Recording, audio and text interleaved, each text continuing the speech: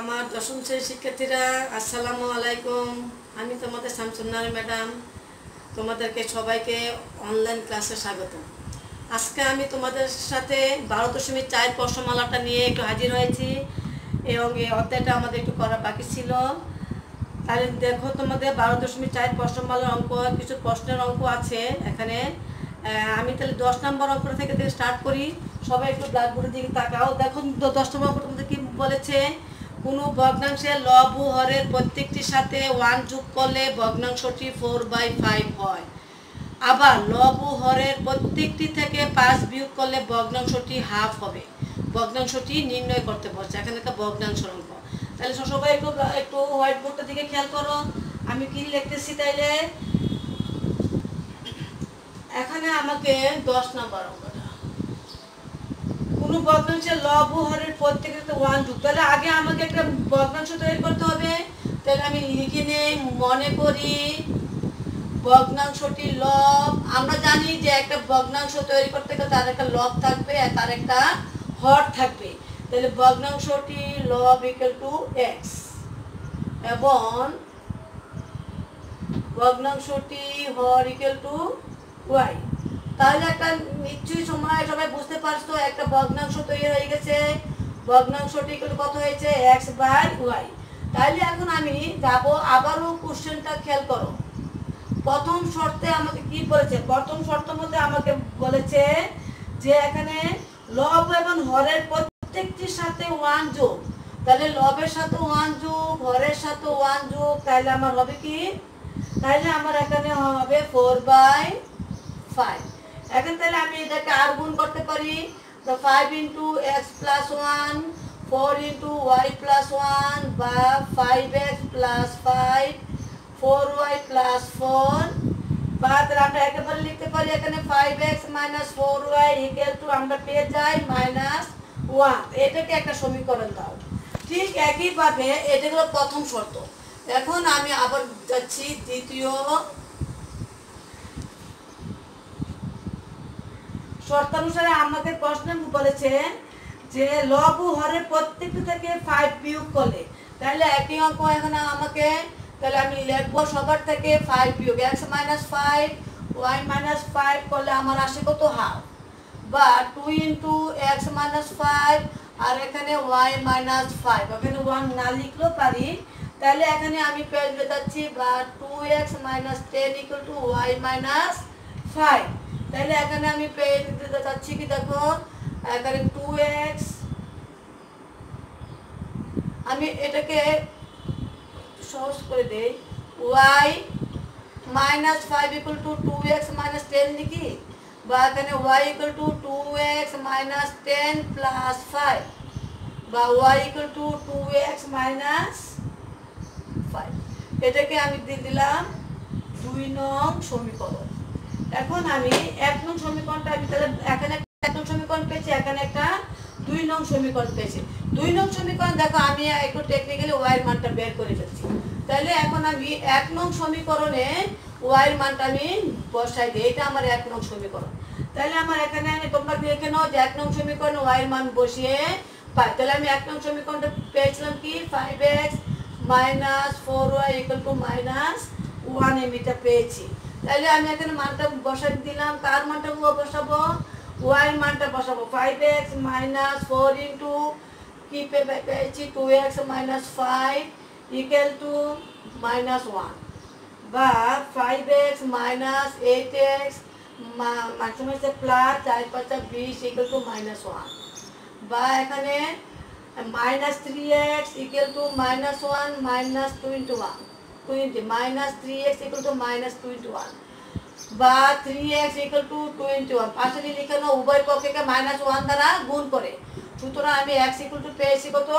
7 এই যে x এর মানটা পেয়েছি, এই x এর মানটা এখন তুমি দুই নং সমীকরণ, তোমরা দুই নং সমীকরণ বসাই দাও। তাহলে আমি এখন যা শুধু লিখে ফেললাম টু বিকামস লিখ তোমরা তোমরা পড়াটা লেখো যে দুই নং সমীকরণে x এর মান বসিয়ে পাই। দুই নং সমীকরণটা পেয়েছি y equal to 2x minus 5 uh, equal to 2 into 7 minus 5 সাধ্য গুণে 14 কত আমার এখানে 9 হয়ে তাহলে আমি কি দেখো এক্সের মানটা পেয়েছি y মানটা পেয়েছি। সুতরাং আমি এখানে লিখব যে ভগ্নাংশটি এক্স বাই ওয়াই ছিল না সেভেন বাই নাইন আমাকে এটাই অ্যান্সার বের করতে বলেছে। সবাই তাইলে বুঝতে পারছ কীভাবে বের করেছি? যে তাইলে আমাকে ভগ্নাংশটি বের করতে বলেছে। একইভাবে আমরা তোমরা পরবর্তী ভগ্নাংশের মানটা তোমরা বের করবা। এখানে এগারো নম্বর তোমরা করে ফেলবা। তারপরে তোমরা দেখো এখানে আবার দুই অঙ্ক বিশিষ্ট এই টাইপের প্রশ্ন অঙ্ক তোমাদের আছে এখানে। বারো নাম্বার আছে, তেরো নাম্বার আছে। তাহলে এখান থেকে অবশ্যই আমি একটা অঙ্ক তোমাদেরকে দেখাই, দিতে পারি। তাহলে তোমরা এখন দেখো, বারো নাম্বার অঙ্কটা একটু দেখো, এই বারো নম্বর অঙ্কটা করে দিচ্ছি। সবাই কোশ্চেনটা একটু করো, দুই অঙ্ক বিশিষ্ট। আমি আগে, তার আগে একটু ব্ল্যাকবোর্ডটা মুছে নিই। আমাদের ভগ্নাংশ অঙ্ক এবং সংখ্যার অঙ্ক, এই টাইপের অঙ্ক একটু ইম্পর্টেন্ট এই টাইপের অঙ্ক দিয়ে আমাদের উদ্দীপকটা আসে। তাহলে দেখো বারো নম্বর অঙ্কটা বলেছে, দুই অঙ্ক বিশিষ্ট একটি দুই অঙ্ক বিশিষ্ট, একটি সংখ্যার একক স্থানীয় অঙ্ক দশক স্থানীয় অঙ্কের তিন গুণ অপেক্ষা ওয়ান বেশি। কিন্তু অঙ্কদের স্থান বিনিময় করলে যে সংখ্যা পাওয়া যায়, তা অঙ্কদের সমষ্টির আট গুণের সমান। সংখ্যাটি কত আমাকে বের করতে বলেছে। দেখো আমি কীভাবে করছি সবাই খেয়াল করো তাহলে এখনও মনে করি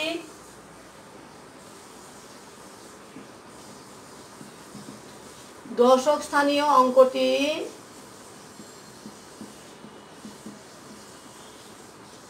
এক্স আমি অঙ্কটা একস্থানীয় অঙ্ক এক্স দশস্থানীয় অঙ্ক ওয়াই ধরে করতে পারতাম। আমি অঙ্কটা একটু শর্টকাট নিয়মে তোমাদের করে দিচ্ছি দশস্থানীয় অঙ্কটা ধরো এক্স প্রশ্নে তাহলে আমাকে বলছে একক একস্থানীয় অঙ্কটা আমাকে বলেছে যে দশস্থানীয় অঙ্কের তিন গুণ অপেক্ষা ওয়ান বেশি। তাহলে আমি এখানে লিখব একক স্থানীয় অঙ্কটি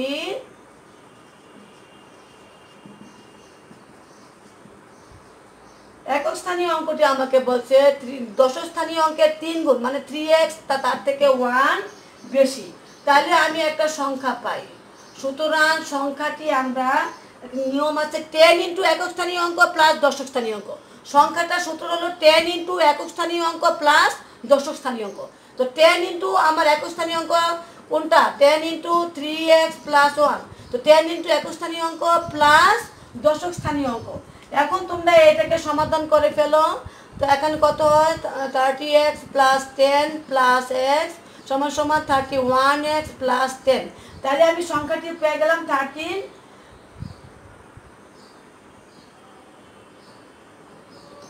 ten into ten into ten into দশক স্থানীয় অঙ্ক সরি আমি সূত্রটাকে ভুল লিখছি।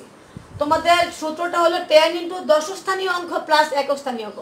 তো টেন ইন্টু দশক স্থানীয় অঙ্ক প্লাস একক স্থানীয় অঙ্ক। Equal to ten x plus three x plus one সমান সমান থার্টিন এক্স প্লাস ওয়ান এটা। হ্যাঁ সবসময় খেয়াল করো সংখ্যাটি সমান সমান টেন ইন্টু দশক স্থানীয় অঙ্ক প্লাস একক স্থানীয় অঙ্ক। হ্যাঁ প্রথম আমি একটু সূত্রটা ভুল বলেছিলাম। এখন তাহলে আমি পাইলাম কত? সংখ্যাটি থার্টিন এক্স প্লাস ওয়ান পেয়েছি। এখন আবার আমাকে দেখো আরেকটা শর্ত বলেছে যে অঙ্কদ্বয় স্থান বিনিময় করলে। তাহলে লেখো আমরা, লেখো তোমরা, অঙ্কদ্বয় স্থান বিনিময় করলে আমরা কি পাই? স্থান বিনিময় করলে সংখ্যাটি কি পাবো আমরা সংখ্যাটা? তাহলে দেখো স্থান বিনিময় করলে সংখ্যাটি হবে, কি হবে? অঙ্ক তো স্থান বিনিময় করো। তাহলে আমি লিখব এখন টেন ইন্টু একক স্থানীয় অঙ্ক। আগে প্রথম লিখছিলাম দশক স্থানীয় অঙ্ক। এখন লিখব টেন ইন্টু একক স্থানীয় অঙ্ক প্লাস দশক স্থানীয় অঙ্ক। তো এটাকে তোমরা সমাধান করো। এখানে thirty x plus ten plus x সমান সমান আমরা এখানে পেয়ে যাচ্ছি কি? Thirty one x plus ten তাইলে এখন তোমরা যাও দ্বিতীয় শর্ত। আমাকে এরপরে একটা বলছে, কিন্তু স্থান বিনিময় করলে যে সংখ্যা পাওয়া যায় তা অঙ্কদের সমষ্টি আট গুণের সমান। তো তা তোমরা এখন আমি আবার একটু বুটটা মুছতেছি, খেয়াল করো। আমাকে পরবর্তী লাইনে বলছে যে, কিন্তু অঙ্কদ্বয় স্থান বিনিময় করলে যে সংখ্যা পাওয়া যায় তা অঙ্কদ্বয়ের সমষ্টির আট গুণের সমান। তাহলে এখন লেখো দ্বিতীয়।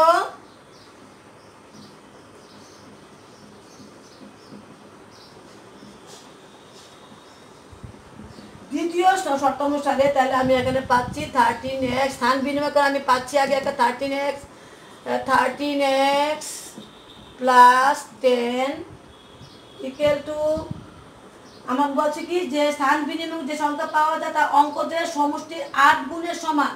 তো অঙ্কদের সমষ্টি এইট তো into x plus three x plus one তাহলে আমি এতটুকু লিখতে পারলাম যে এটা সংখ্যাদের সংখ্যাদের সমষ্টি। সংখ্যা এখানে আমার দুইটা, দশক স্থানীয় অঙ্ক প্লাস একুশ স্থানীয় অঙ্ক, তার আট গুণ। এখানে বা এখানে thirteen thirty one x plus ten equal to eight x plus তিন হাজার চব্বিশ এক্স প্লাস এইট বা আমি এখানে এক্সের টার্মটা এখানে নিয়ে আসি। তার একটু ইকুয়াল টু এখানে তোমার চব্বিশ আর আটে কত হবে? Thirty two x plus eight বা thirty one x minus thirty two x eight minus ten বা এখানে x equal to minus x equal to এখানে minus x equal to minus two সুতরাং এক্স ইকুয়াল টু টু এখানে ব্র্যাকেটে লিখে দাও যে উভয় পক্ষকে মাইনাস ওয়ান দ্বারা গুণ করে। তাহলে আমাদের এখানে এক্সের মানটা পেয়ে গেছে। আমার তো এক্সের টার্ম আছে। এখন আমি চলে যাব সুতরাং সংখ্যাটি, যে সংখ্যাটা আমি পেয়েছিলাম। তাহলে আমি লিখব সুতরাং সংখ্যাটি আমার ছিল, কত ছিল আমার এখানে? থার্টি এক্স প্লাস ওয়ান এখানে ওয়ান মান বসাই দিচ্ছি, পাশে লেখো মান বসিয়ে। এখানে থার্টিন প্লাস ওয়ান কত হলো? Thirty x um sorry um two পেয়েছি তাহলে এখানে টোয়েন্টি সিক্স আর প্লাস ওয়ান টোয়েন্টি সেভেন তাহলে আমাকে তো এইটাই তো অ্যান্সার বের করতে বলছে, সুতরাং সংখ্যাটি টোয়েন্টি সেভেন তাহলে আমরা এখন তাহলে বুঝতে পারলাম সবাই।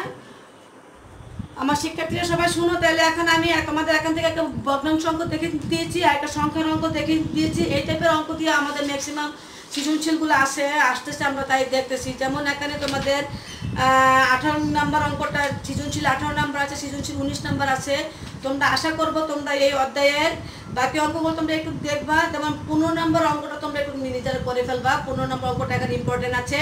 পনেরো নাম্বার, আঠারো নাম্বার, উনিশ নাম্বার তোমরা নিজেরা বাসায় একটু চেষ্টা করবে আশা করি তোমরা পারবে তারপর তোমাদের পরবর্তী ক্লাসে আবার তোমাদের সাথে দেখা হবে সবাইকে আল্লাহ।